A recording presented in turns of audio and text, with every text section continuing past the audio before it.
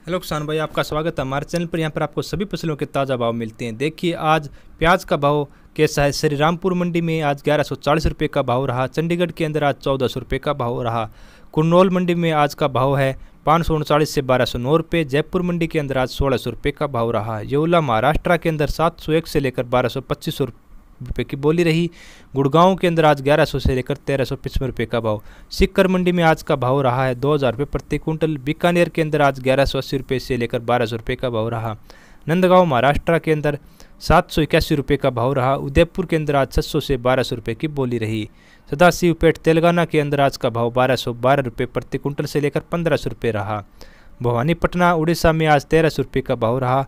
उड़ीसा के बोनाई में आज छब्बीस सौ रुपये की बोली रही। भवानी के अंदर आज हरियाणा भिवानी के अंदर ग्यारह सौ से लेकर पच्चीस सौ रुपये का भाव, रुद्रापुर, उत्तराखंड में आज ग्यारह सौ से बारह सौ रुपये का भाव, अजमेर के अंदर आज सोलह सौ चौवालीस से लेकर सत्रह सौ चौपन रुपये का भाव, रोहतक, हरियाणा में आज एक हज़ार से ग्यारह सौ रुपये का भाव, मुंबई में आज बारह सौ पचहत्तर रुपये का भाव नरवाणा के अंदर आज एक हज़ार से पंद्रह सौ रुपये का भाव, देवल्ला में एक हज़ार पचासी रुपये का भाव रहा।